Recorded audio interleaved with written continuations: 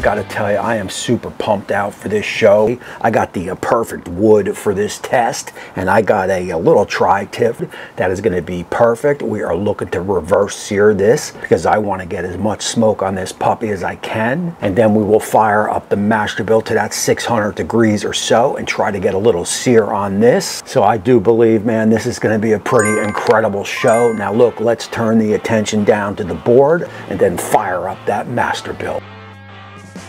Hope you're as excited for this one as I am as we uh, take a look at this little tri-tip. We'll get that dried off and we have a little bit of cleaning up to do on that thick strip of fat right there.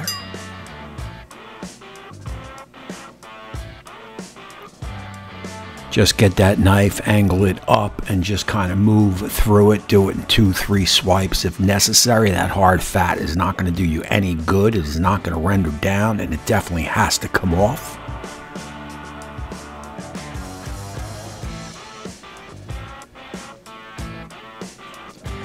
And once we get that hard fat off, we are going to go with this competition cow powder by Uncle Steve a shake. Look, he is the man of the hour. He is the man of the show. If you've not tried his rubs, you are definitely going to want to check it out under show notes and definitely pick up some rubs.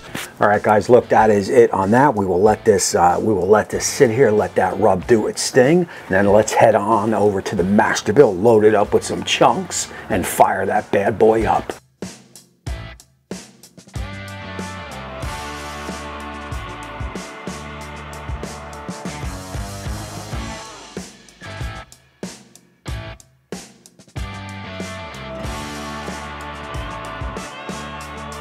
So look right off the bat, man. As soon as I touched the, uh, as soon as I touched the lighter to my starter underneath, we had immediate smoke uh, coming through the top. It usually takes a little bit longer than that.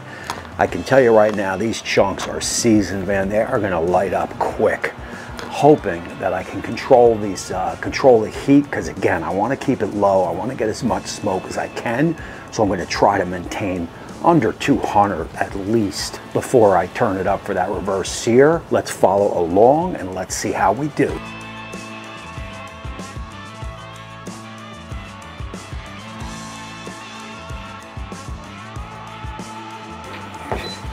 All right, guys, look, at this point, it is just a wait and see. As you can see, I have a external temperature inside the pit as well as inside the meat because I want to know exactly what is going on in there. Let's see what happens. Half hour, 45 minutes, I would guess, and I'll bring you guys back. All right, guys, so look, everything that happened was supposed to happen 45 minutes in, and we are at an internal temperature of 100. I am keeping that low on purpose. She definitely got a lot of smoke. There is no doubt about it. I'm gonna bring you in so we could take a look at that hopper. Then I am gonna fire up the Masterbuilt to six, 700 Fahrenheit so we can get the proper sear on this puppy. So there you see what is left of our chunks, our original batch of chunks. We will get some more in there as we turn the pit up. We will get the tri off on the board, let it rest. Once we hit that 5, 550, 600 inside, we will get the tri-tip back in.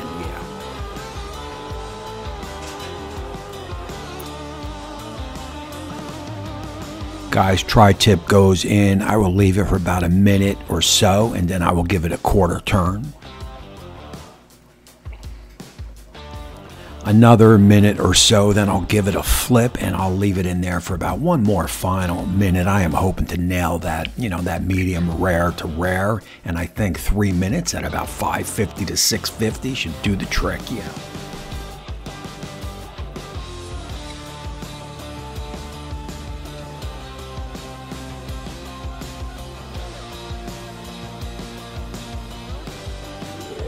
One thing's for sure, man. I am definitely digging the color, man. That is a uh, that is a good looking piece of meat right there. Yeah. yeah.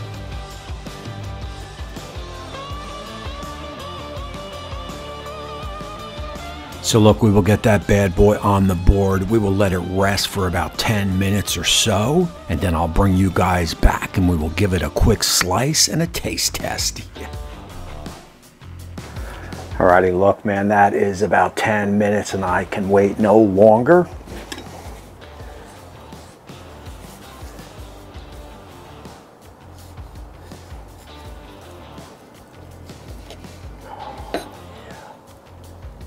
Oh, yeah.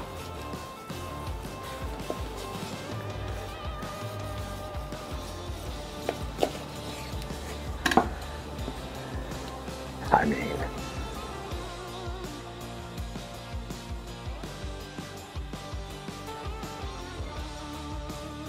guys, for me that is uh, that is pretty perfectly cooked. I would say that is a would you say that is a nice uh, medium rare, and she's definitely got the. Uh, definitely got some juices flowing but hey man the uh, what, what, we're more interested in is the uh, wood flavor now look I know that uh, when this sits in the uh, fridge for a couple hours or on the stove for a couple hours she's going to take on some more wood flavor at least that's what she does with pellets and also with uh, with the Masterbuilt when you're using um, you know uh, a charcoal with wood chunks on my uh, Lone Star over there, man, the, the wood flavor was sweet. It was a whole different type of wood flavor. That is what I am looking for here. Enough talk, let's go in.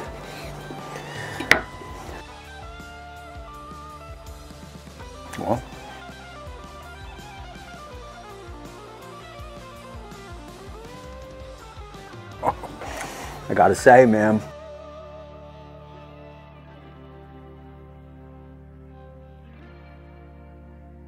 I gotta say, man, without doing a uh, without doing a side by side with the Lone Star, man, this is uh, this is damn close. I do think the smoke is a little bit more dirtier than the Lone Star, if that makes any sense. So look, man, either way, man, this is definitely uh, it is definitely 100% a different flavor.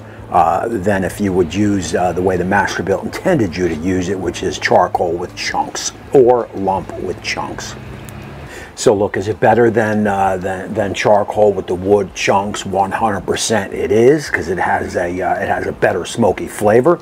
Is it better than the Lone Star? I'm not so sure about that, as I do believe the uh, wood flavor on the Lone Star is a little bit more cleaner. Like I said, maybe an A, B is in order. Other than that, total success. Give this a try. There is no doubt about it. Also, that Uncle Steve shake is killer on this. That is that competition cow powder. That is definitely my uh, my choice when I am doing beef. There's no doubt about it. Again, information down below under show notes. Again, man, I appreciate you all for watching. We are going to close out this show. And until next time, we will see you soon.